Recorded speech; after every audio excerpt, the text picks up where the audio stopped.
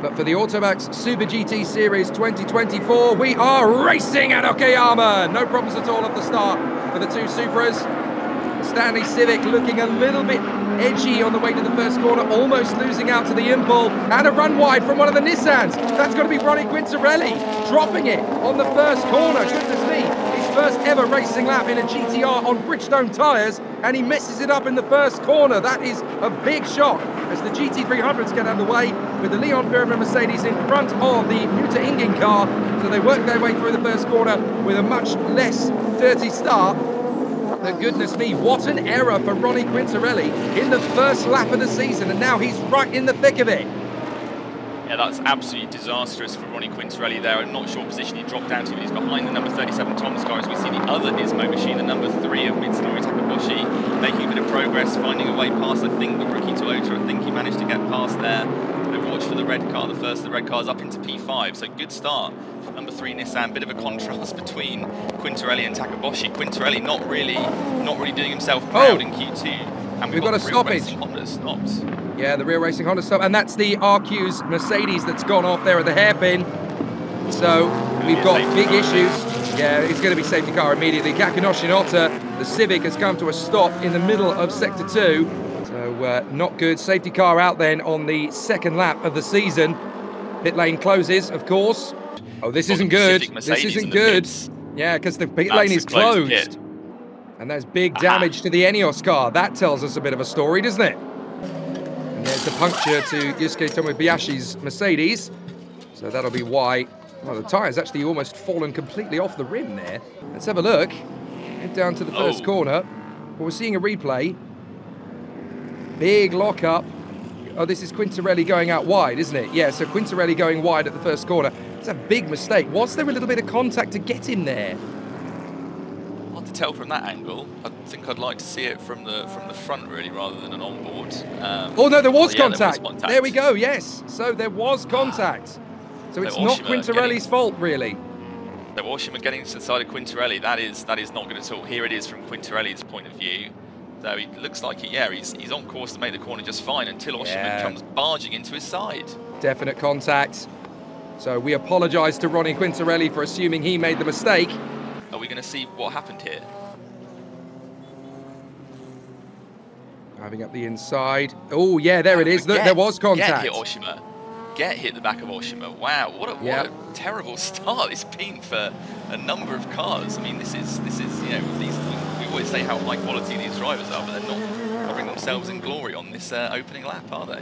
Well, considering how often we see in Super GT single file on the first lap of a race, this is, oh dear. Well, that's how the RQ's Mercedes got away. We've, we've said in the past that they're not the best of teams in GT300 in terms of quality, but you can't really blame them for that one. They have got going again, but uh, unfortunately, on that particular count, they were fairly blameless. Pit lane has been opened now, and Baguette taking the opportunity to come in at least Kazuya Oshima is almost certainly going to go in as well, isn't he? And then these two teams have essentially just got to hope that there's another safety car later on in the race that gets them back into the mix in some way. Goodness me, look at the damage to the ENEOS Supra. That's almost certainly a game over. Surely, yeah. there's too much damage to that rear splitter. Yeah, I can't see that going any further. I think they, yeah, they're, they're jacking it into the garage, so that is that's probably the end for the 14 car. Kick. Let's have a look again. Look in front. There's the spin for the ENEOS Supra, and actually, the Impul has nowhere to go. Now, did the Impul trigger the spin, or did he get collected in the spin? That's the real question here. And look, the real racing car just goes the wrong way. Yeah. It elected to go right, and it should have gone left, but it's the benefit of hindsight, unfortunately, on that one. Check this out. The Tom's Supra has been given liberty to run away with it, and the Denso Supra has ended up being caught out and is accidentally holding up the Stanley Honda and the rest of the field. So this is magnificent news for Toyota as far as the Tom Supra is concerned. They've got an absolute barnstormer of a restart. Was that tactical or was that an accident? Green flags. We are green, green, green, green here at Okayama as the Super GT Series continues under racing conditions and the Stanley Honda is trying desperately to shake off the Keeper Supercar I wonder how much of that was planned and how much of that was uh, the Denso Supra team falling half asleep. So uh, down the straight comes the GT300 battle. There is the Leon Pyramid Mercedes in front of the Muta Inging car and the Subaru. No major changes then in the top three. The good smart Mercedes and that beautiful new livery of the study BMW car still very prominent. Well, there's damage to the APR. So damage to the APR car. You can see that the right rear quarter is smoking. Has one of the leading cars just clipped them on the way past? Because that is definitely a limping target now for all the others to avoid. And that is a real problem for the APR car. Now we've got, look, the, the run through the traffic has really benefited Tadasuke Makino in the Stanley Civic. He's now all over the back of Sekiguchi again. Toshiki Oyu's gone with them. It's actually held up Takaboshi a little bit because the Nismo Nissan on those Bridgestones for the first time has actually dropped back quite considerably now from the fray. Tadasuke Makino having a think about it. On the outside, Toshiki Oyu hoping to keep his car there for the next left-hander. And Tadasuke Makino having to get right across the line to chop him across. He can't hold him off. Is that going to be enough? Makino holds him back for the moment. Goodness me, that was a big opportunity for Toshiki Oyu, and he knows it. There's the D station vantage. I'm really impressed with them considering that they didn't turn a single lap in. They're going to get an overtaking move out of this. Beautifully done. And I have to say, the D station boys doing a terrific job considering they didn't do a single lap in qualifying yesterday. They had to change their engine and they couldn't do that until they shipped the car in from Fanatec GT Asia to transfer the engine out of that car into this one. So amazing that they are as competitive as they are today. Oh, these are both very, very fast types of machinery. Just a bit of a pinch here on Tadasuke Makino.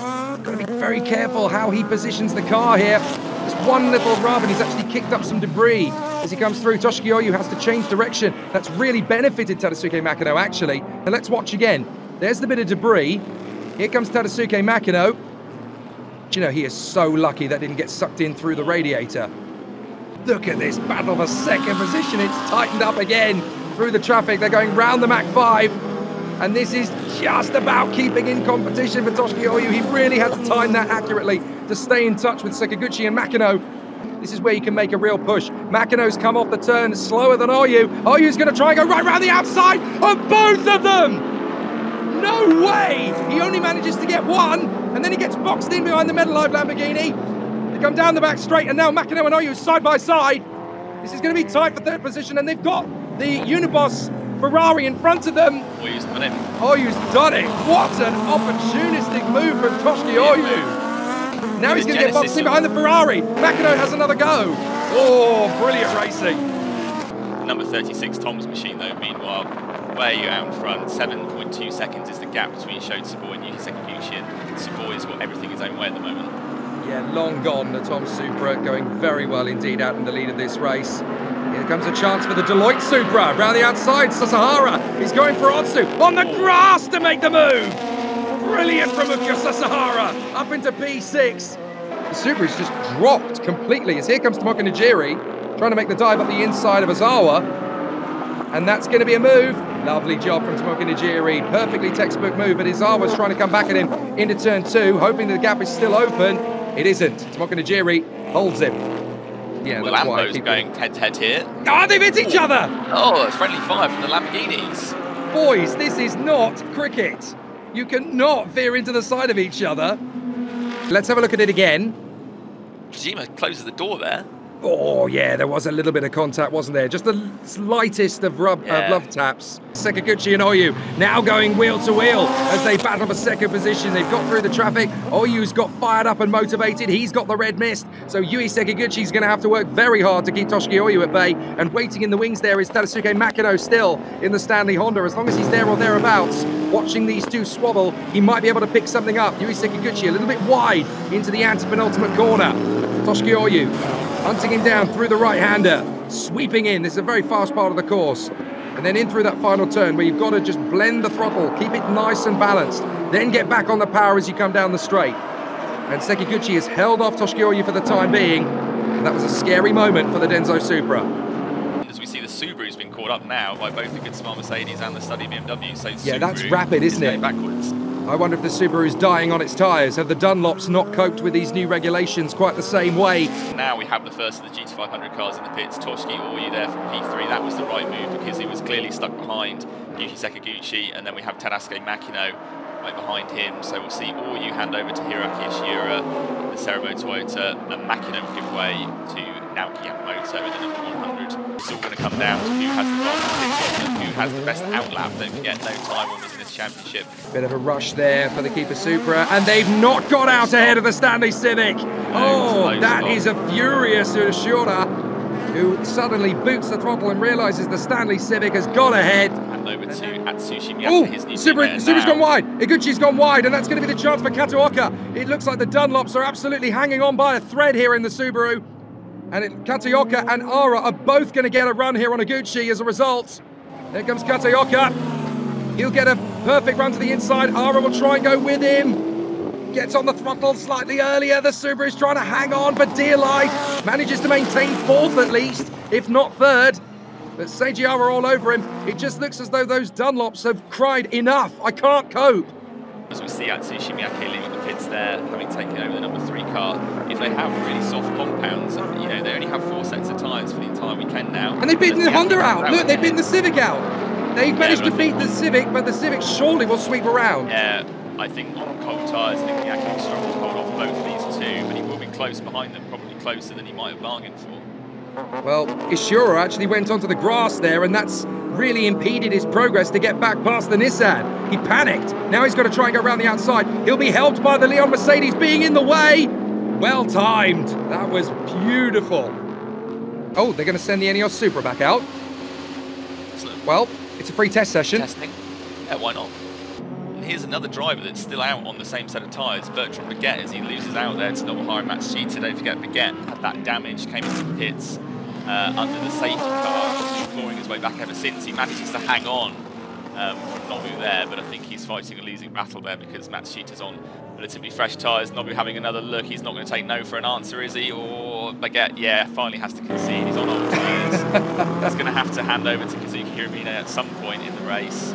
Um, and it's hard to see him really salvaging anything from this. Probably just praying for a safety car. He almost created the safety car that he needed there with, the, with in his battle with Matsushita. Get ready for the beginning of a strong era. A lot of article inches have been written about Lilou Wadoux. She's kind of come onto the scene as practically as an unknown in GT racing over the last two, three years. But what she's done in that time has been fairly spectacular. And she's definitely going to be a star in the making. So watch out for her on this uh, particular stint. Lap times will be crucial to judge, but obviously with this being her first appearance in Super GT, expect to be impressed. Lilou Wadoux has got a lot of talent in her right foot. Don't forget, she is a factory Ferrari driver, so she's on the same level as, you know, Marco Sorensen, who's a factory Indeed. Aston driver, or, you know, Spengler, a factory BMW driver. She is in that same bracket. Okay, she's much less experienced than those guys, you know, Ferrari doesn't sign people that they just find off the street, do they? Clearly, she, she has impressed Ferrari in the same way that she's impressed Kei Cozzolino that managed to get her this drive. That was how the connection came about. Um, as we see here, Sasahara still going on lap 50, and he's actually coming not too far away uh, from, from the maximum drive time. They can't do more than two-thirds distance if you're Giuliano Alesi, you've got to be wanting to take over this car very soon indeed. Look at it swarming around behind the behind the Morelli cars. Get out of the way. You're a lap down. Move over. Come on. Oh, here we go. Wheel to wheel between the Huracan and the Subaru. And they're still side by side, two, three corners later. And now Yamauchi gets the move on Kaguri. That has taken a lot longer than Subaru would have liked. Yep, here we go. This is where the story really starts. Uh, we got Yamamoto all over the back of Nakayama, going for what is, of course, going to be second position once the pit stop race concludes. And round the outside, they're going to get held up here potentially by the Unirubber Ferrari. This is Yamamoto's chance. He knows it. He's going to have to hunt down Nakayama to get into second position. That Ferrari is in all the wrong places at all the wrong times for Nakayama's composure. Yamamoto can definitely make a little bit of ground here. Up the inside, the Ferrari almost pinches the Stanley Honda as it comes through. Oh, There's the Mercedes. Wow, that took a while. that took a while. They are changing tyres. Yeah, they are. So there goes the Mutaringen car into the lead. They're going to be a long way behind. I think they're, they're almost at risk of being passed by the Green Brave Supra here. Let's let's keep a watch for that Green Supra reigning champion squad. There it is. There it is. Already yeah, gone. So that's already gone. They've not just lost the lead, they've lost second as well. They might even lose third. Yeah, I mean, this is a huge, huge advantage by not changing tyres. I think they are going to get out ahead of the, the study BMW yeah, was, they was the next car in line. So uh, still going to salvage at least a place on the podium. They're going to have to, now Gamou getting on board the Mercedes now, he's going to have to really push on try and take advantage of the fresh rubber. Oh, this is an opportunity for the Lexus getting side by side with the Mach 5, and they are trying to force the issue. No chance if you're Kiyoto Fujinami, you're not going to give away an easy overtake. And Shinichi Takagi, Takagi is going to find that out for himself. Fujinami is not the easiest man to overtake in a straight fight. Takagi swarming around all over the back of the Mach 5. No, you don't. Brilliant racecraft from Fujinami, just keeping the car exactly where he needs to place it to stop the Lexus coming through. But look at the aftermath of that maneuver. It is an absolute stopgap effect as the field just piles in behind them. Well, our intermittent colleague Jens Sabota has informed us that uh, there was a tiny nudge between Baguette and Oshima on that opening lap. So that's why he went to apologise. Here's the move again on the inside from the Lexus. That's the job done. Finally, Takagi manages to get through. And that's the opportunity as well now for the Lamborghini to come through. The door's been left open, and the horses are now going to charge out of the stable. Here comes the Lamborghini side by side with Fujinami. No chance that Fujinami is surely going to be able to hold him off. As down into the braking zone, the Lambo's able to go long. Job done. Two places lost, but that was a very close call. Thought Fujinami was about to lose a whole lot more places there because he got out of shape there, but he just managed to cut back in ahead of the Subaru. But he's going to have his work cut out here. Here comes Yamauchi having a look on the inside. Is he going to be bold and dive up the inside? I think he might have a look here. Yamauchi making the move. I think he might just have the grip to go around the outside, will he? Or is Fujinami just going to understeer into the side of him? No, Yamauchi backs down. The Lamborghini still in the mix as well. Fujinami lives to fight another day but he's got a lot. It's going to be a very long final 19 laps for him on those on those used tyres isn't the Team Mac car. He's pointing the wrong way. Well, what on earth has happened there? Was that nudged aside? Kiyoto Fujinami. He's got a. It's weird because he can't spin turn the car. That's the problem. He can't spin the. he oh, can't spin really the car wheels of the car. now. So this has ruined the Mach 5's race. How did it happen? Here's uh, the Subaru. Don't tell me he's just charged it. Oh no!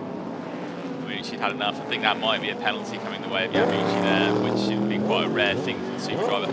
Fujinami is parked in a really awkward location here. He's got a bit of a gap, but he may not be able to see clearly that he's got the, got the, the time to actually make the reversal. I think Higuchi probably knows what's coming. But that car is actually going to get stuck on the curb. Look at it. They're struggling. Oh. He's had a lot of steam come off it. That's him trying yeah. to get the car moving.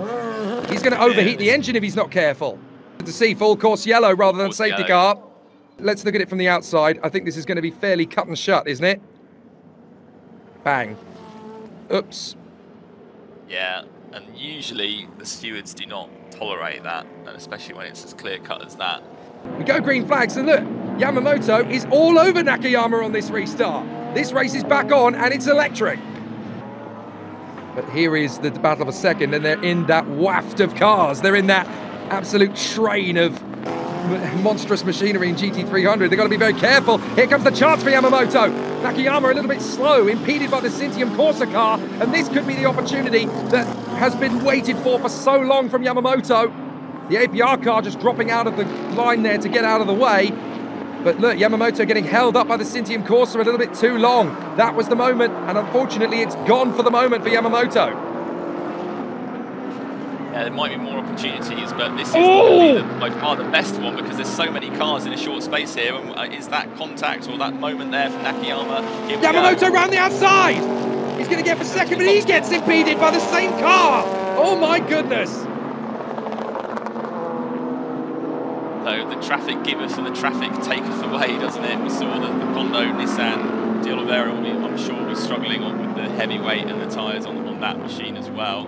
It's a little bit little bit of clear air ahead of them now once they get past this Lamborghini, but it was a close call for Nakayama, and it looks like Yamamoto's got to have a little run around here. Is he going to have a look up the inside? I think he might.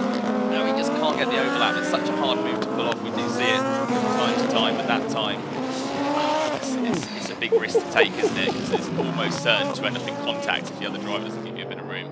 I mean, how close did we come to disaster there with Nakayama trying to charge up the inside of the realised Nissan? We almost had absolute pandemonium at that point. Very well measured from Nakayama to get out of it in time, and Yamamoto almost seizing the chance to get into second before he then became impeded by the same car in the next corner. So very unfortunate. Now they're dealing with the Subaru. Yamamoto is having to wait another corner before getting the move done. But you've just got to stay hungry. Naoki Yamamoto's just got to be prepared for whatever is thrown at him. And the, uh, admittedly, the move at turn two, it was on. It was on. He had the line and he had the momentum to get past the Supra. Unfortunately, there was a Nissan in his way. So the chance disappeared again and he might not get another one for another lap or two. However, having said that, he's got past the Lamborghini a lot quicker than Nakayama did. So Yamamoto lining up another chance, and not far away now is Ishiura. They both got held up big time, so Ishiura and Chiyo are going to be in the. Oh, look at this! The Leon Mercedes has caught right up to the Green Brave. Can they steal second place back? Having been about a dozen seconds behind them, those tyres that they put on have definitely caught up the gap.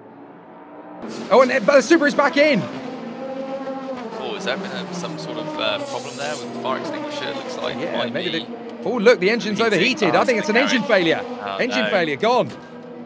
Here comes Giuliano Alesi, thundering on to the back of Atsushi Miyake. If he gets past him, he may even have time to go for Katsumasa Chiyo as well. This could be an absolute rout for Toyota. Go on, Giuliano. This is where you need to make it happen. Stay with Atsushi. Stay with Atsushi. Don't get squeezed. Oh, Atsushi no. squeezes him right off the road. Oh, surely wow. Atsushi Miyake is going to get a penalty for that. Oh, that's that's. Yeah, Here comes that, Baguette. That, that, did look. Hiramine, I think he's a oh, apologies. Yeah, Hiramine gets through. Oh dear, oh dear. For position, for position Hiramine's a lap down. Um, so Alesi stays in P7, but he looked like he had the move pretty much done, didn't he? Like you said, did he get a penalty for that? I'm not 100% sure. Mine putting two wheels on the grass as he tries to get ahead. Giuliano Alesi trying to follow Hiramine through as well. And, and that's because Krütten done. Yeah, Krütten's already got the move done. done as they get to the breaking point past Yoshida. Brilliant work from Krütten. But now Giuliano Alesi's trying to come through. BMW have got the job done. They're on the podium. Seiji absolutely ecstatic. And Niklas Krütten has proved his worth on his debut in Super GT. Fantastic driving from Niklas Krütten. And here's Lilou Wadoux round the outside of Kobayashi. Wadoux in exactly the right position to make this work. And she's not frightened to give it a go. Beautiful. Lilou Wadoux gets the move there on Kobayashi. That is a masterclass overtake and on her debut as well. Goodness me, what a traffic jam we've got on the back straight now as Giuliano Alesi again attacks Atsushi Miyake round the outside. Don't you dare shove me off a second time. But now they've got traffic to deal with. And it's not going to be easy. Oh, oh Alesi is nerved there by me squabbling over position in the exact piece of tarmac that he wanted to use to get past Miyake, so he had to back out of it. And then Merry just giving him a little love tap for good measure. Alesi oh, he's taking it back. He's, he's, he's, riled up here, isn't he? He's, he's, he's managed to get past the, the Nissan there finally, but he's, he's probably lost his best opportunity to get ahead of the, the, the Nissan because he's only got one lap left. And look at the look at the distance he's lost there. He's going to be fuming. Very unfortunate, but Giuliano can't afford to use his car as a battering ram to get past the GT300s in response, because that's not going to be looked on very favourably by the team at all. Perfect drive. What a run from Sho Tsuboi and Kenta Yamashita. They win the first race of the Autobacs Super GT Series 2024.